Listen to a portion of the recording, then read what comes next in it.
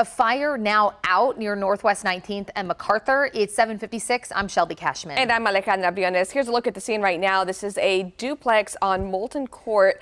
Crews saying in the last 10 minutes that the fire is out now. Fire crews say when they got there, though, just after 7, they saw some heavy smoke coming from the duplex that then spread to the attic. One person was inside at the time that the fire broke out and was able to get out safely.